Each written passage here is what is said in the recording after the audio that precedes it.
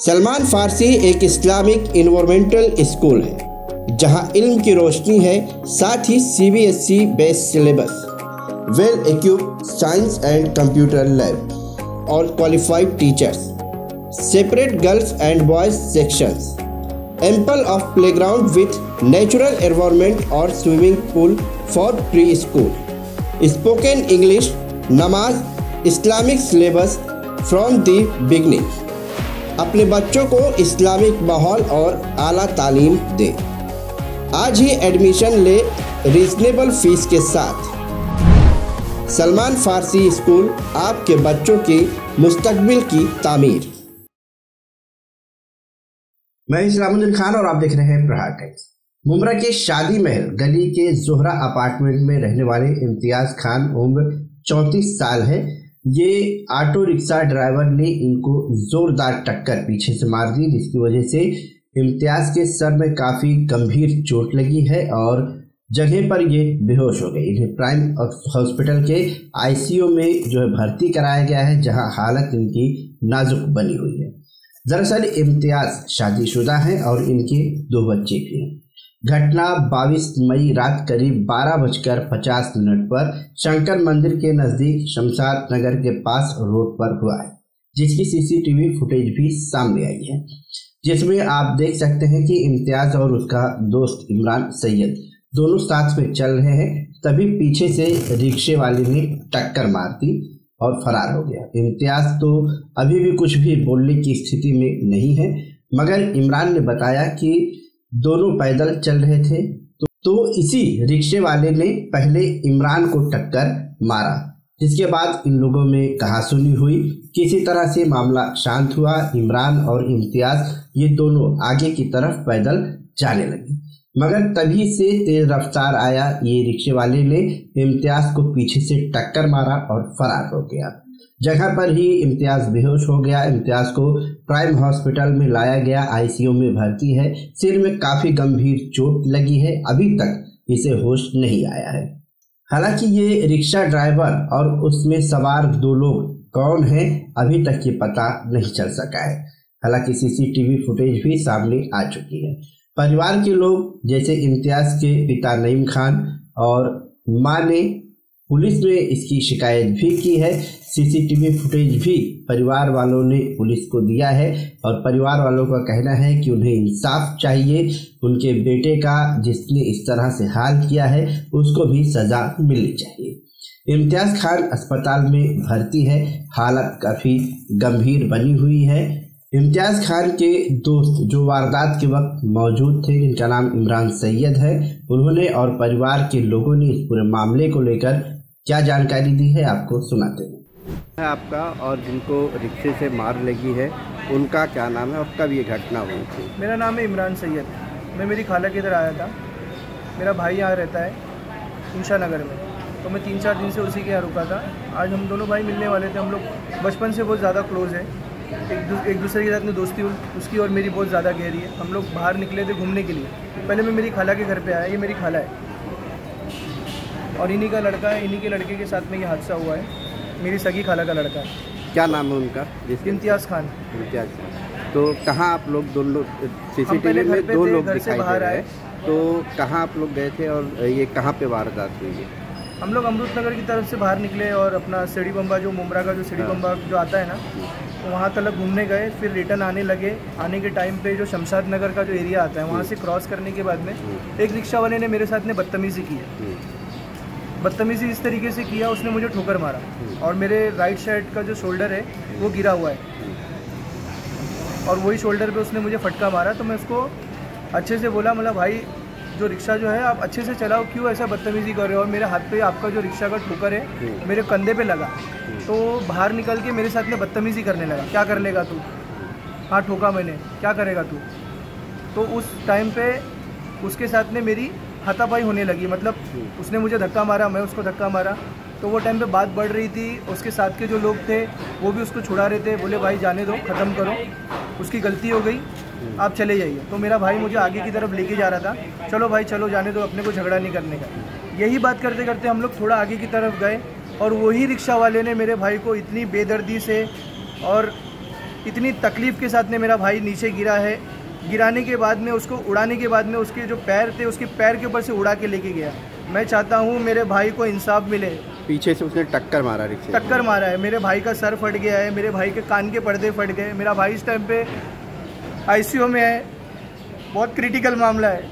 मैं चाहता हूँ मेरे भाई को इंसाफ मिले। क्या डॉक्टर ने क्या बताया?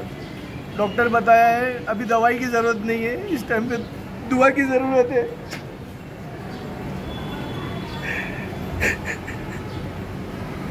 और ये वही लोग हैं जो मेरे साथ में हाथापाई किए थे ये वही लोग हैं। पुलिस में ये घटना कब हुई थी? बताया जा रहा है दो ये घटना कुछ तीन दिन पहले हुई है घटना ये। कितने तारीख? इक्कीस तारीख। इक्कीस तारीख। इक्कीस तारीख को हुई है घटना। कितने बजे रात में जब वो मेरे साथ में धक्का मुक्की किया और जो मुझे टक्कर मारा उसने रिक्शा का तो मैं उसको बोला कि तूने मेरे को धक्का मारा मेरे को मेरे शोल्डर में क्या मार लगा हुआ है। मैंने उसको पुलिस का नंबर निकाल के हंड्रेड नंबर निकाल के फ़ोन लगाने लगा तो उसके साथ वाला बंदा बोला भाई किसी को फ़ोन लगाने की ज़रूरत नहीं हम्म। है उस टाइम हो रहा था बारह बज के इक्यावन मिनट। ट्वेल्व फिफ्टी टू हो रहा था उस टाइम पे। आप सीसीटीवी फुटेज भी चेक कर सकते हो उस टाइम पे। जब धक्का मुक्की हुई झगड़ा हुआ उस टाइम पे। पुलिस में इस संबंध में कुछ केस वगैरह कराए आप लोगों ने? हाँ पुलिस में हमने केस दर्ज किया है।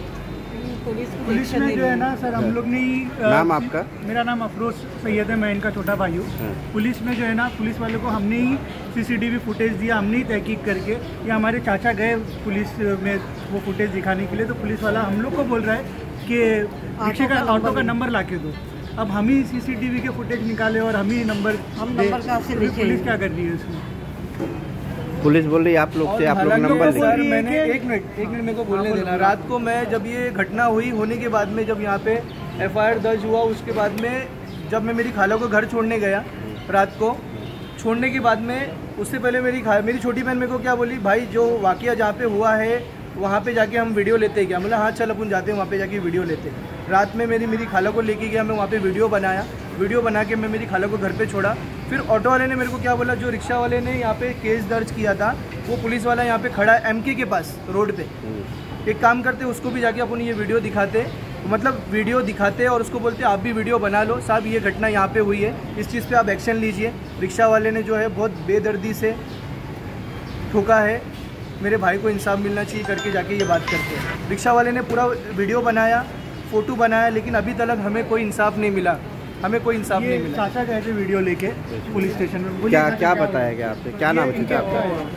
आप आपका ही बेटा है वो? मेरा बेटा है बड़ा बेटा है क्या बताया पुलिस ने? ये बताया कि भाई ये मतलब सर कार्रवाई करे नहीं करेगा। तो बोले हमको वीडियो मिली है वहाँ की ऐसे। मत नंबर नहीं मिल रहा बोले नंबर ला के दो। मेरा मैं नंबर का मैं पुलिस से तो जबान नहीं चला सकता। मैं ये नहीं ये कभी नंबर कहाँ से ला के दूँ मैं? बोल के ठीक है बोल के मैं बाहर निकल गया। और सर, मैं ये चाहता हूँ, मेरे बच्चे के दो छोटे छोटे बच्चे हैं, उनको हक चाहिए। और कई टाइम से कारोबार नहीं है, उसका परेशानी है उन्हें। उसका कोई हक मिलना चाहिए। आज मौत ज़िंदगी से खेल रहा है, बस अल्लाह के ऊपर छोड़ दी हमने। और जिसके साथ जो आगे बढ़ाएगा, मेरे बच्चे की मदद करेगा, वो अल्लाह उसको इंसाफ देगा। और इंसाफ का मैं उम्मीद रखता हूँ, अल्लाह ताला आगे जो करेगा, वो अल्लाह देखेगा। भाई मैं एक चीज़ बोलना चाहता हूँ इतना सब कुछ होने के बावजूद पुलिस क्या कर रही है? अभी तक रिक्शे वाला पुलिस वाला मुझे कहता है कि आप घर जाओ हम एक्शन लेंगे। आज का चौथा या पांचवा दिन है लेकिन अभी तक पुलिस वालों ने कुछ नहीं किया है। वो लोग मुझे लगता है हाथ पे हाथ डाल के बैठे हैं और मेरा भाई बहुत सीरियस है। मेरे भाई का कंडीशन बहुत ख़राब है इस टाइम पे। आप माँ हैं? क्या बताएँगे जो एक्सीडेंट हुआ अभी पुलिस में भी आप लोगों ने सीसीटीवी फुटेज वगैरह दिए हैं।